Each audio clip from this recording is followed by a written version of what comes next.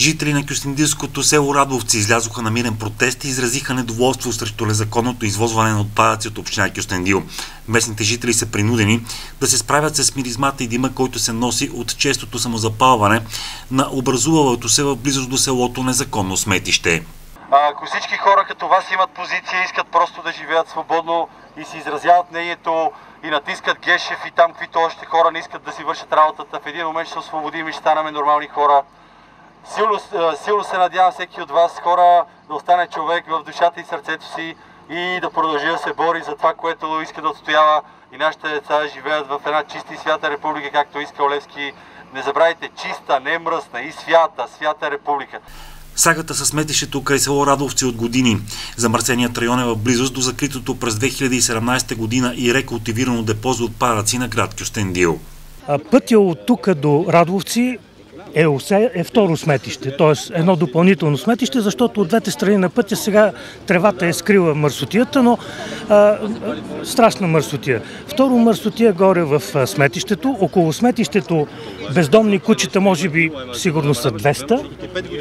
А, отделно от това, когато се запали сметището, пушиците отиват и към селото, смъртта е ужасна.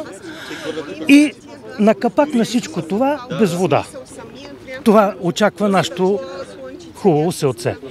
Основното искане на всички протестиращи е да се направи законно депо, а не целият буклук на община Кюстендил да се изхвърля на нерегламентирани места по повод на законното депо и честото му запалване по инициатива на местните хора. В селото през миналия месец беше и министрът на околната среда и водите Борислав Сандов. Ще ви споделя два много сериозни проблема, защото когато се запали това сметище, има специален нормативен акт, който се нарича Закон за чистотата на въздух. Плюс подзаконов нормативен акт за неговото прилагане. Ние не знаеме, тук, тук се спомена за пластмасите, ние не знаеме това, което се гори, как се отразява на здравето на хората. И второто нещо е, откакто са активизирани тези смели и достойни хора, и когато дойдем вице-премьера Сандов, ние имаме проблем с метоизвозването в град Кюстендил. Що? Точно така. Защото той до сега незаконно изхвърляше там буклук. Няма право да изхвърля буклука в Самоков, няма право да изхвърля буклука и в Перник. И той криеше до момента къде се изхвърля този буклук. Хората са съгласни община Кюстендил да увеличи таксата за смет, което да повиши качеството на сметоизвозването и сметосъбирането на отпадъците.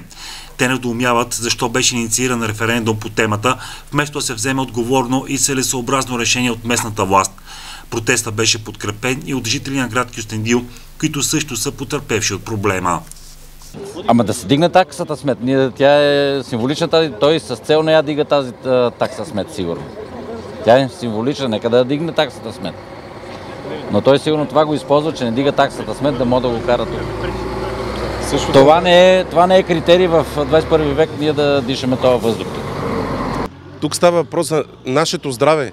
Той въздух се разнася. Става въпрос за нашите деца.